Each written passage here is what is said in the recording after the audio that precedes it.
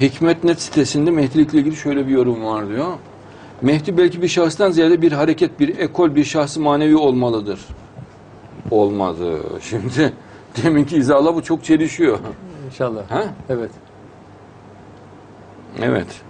Zira e, Mehdi'ye yüklenen misyonu ve vazifeyi bir şahısın gerçekleştirmesi mümkün değildir. E kardeşim zaten bir şahıs yapmayacak. Şahıs var. Yani peygamberimiz tek başına mı yaptı? Şimdi bunu durup durup böyle bir mantık olur mu ya? Olmaz hocam. Peygamberimiz tek başına ya- dini yaymadı ki. Evet. Peygamberimiz vardı, sahabeleri vardı ve şahsı manevisi vardı. Evet. Değil mi? Evet hocam. Ha- İmam Rabbani vardı, talebeleri vardı ve şahsı manevisi vardı. Durup durup bunu aynı şeyi söylemen alemi yok. Dürüst bir uslup olsun. İnşallah. Zira eee zira Mehdi'ye yüklenen misyonu ve vazifeyi bir şahsın gerçekleştirmesi mümkün değildir. E doğru. Talebeleri ne yapacak? Talebedir ve kendisi. Evet. Onu ancak bir topluluk yapabilir. E doğru. İnşallah. Toplulukla beraber topluluğun bir başı var. Evet. Ümmetimden kıyamete kadar hak üzere devam edecek bir taife bulunacaktır. Başsız mı diyor peygamber bunu Evet. söylerken? Evet.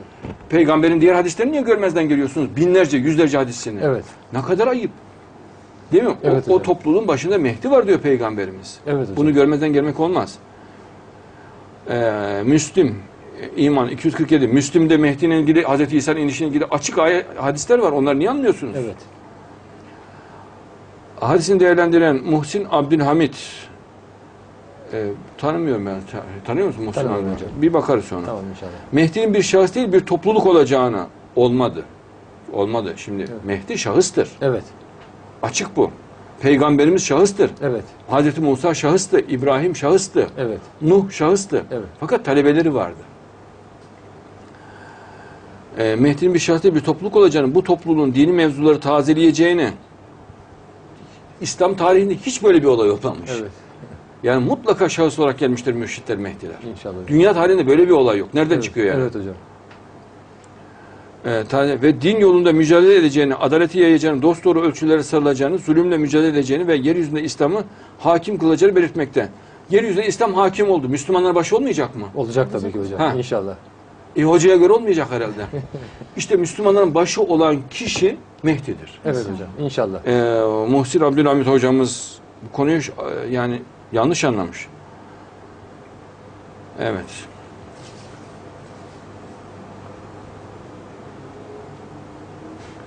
Yine Hikmet.net sitesinde kanaatimizce Mehdi bir şahıstan ibaret değildir.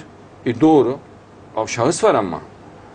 Faaliyetleri geniş bir zaman dilimine dağılmış bir hareket, bir ekol, bir cemaat olabilir. Zira hadislerde anlatıldığı üzere adaletin tesisini bir şahsın yapması mümkün değildir. Ya kardeşim durup durup bu mantığa gelmek yani yani sen çocuğa hitap ediyormuş gibi pek tabii ki bir şahıs da olmaz. Yani mesela bizim ordumuz var Evet. ama genelkurmay başkanı var. Mesela Atatürk vardı başta değil evet. mi? Evet hocam. Bir de askerleri vardı. Evet. E, Fatih Sultan Mehmet vardı, askerleri vardı. Evet. Değil mi? Evet. Peygamberimiz vardı, sahabeleri vardı. Yani bu anlaşılmayacak ne var bunda ya? Yok bir şey hocam inşallah. Zira hadislerde anlatıldığı üzere adaletin tesisini bir şahsın yapması mümkün değildir. Allah Allah. Fesefene yani. Çok sakin olmalıyım. Estağfurullah. Bir cemaat, büyük bir heyet, Müslümanların büyük bir topluluğu birlikte hareket ederse ancak başarabilir. Cevap vereyim mi? Estağfurullah hocam. ya tabii ki kardeşim ya bak mesela bizde bile değil mi? Ben Evet. mesela ben bu çocukların abisiyim, kardeşiyim. Es tabii ki hocam. Estağfurullah. Ama ben olmasam böyle bir cemaat olmazdı. Evet. Evet hocam. Evet hocam. Böyle bir topluluk olmazdı. Olmazdı inşallah. Ve böyle bir çalışma da olmazdı.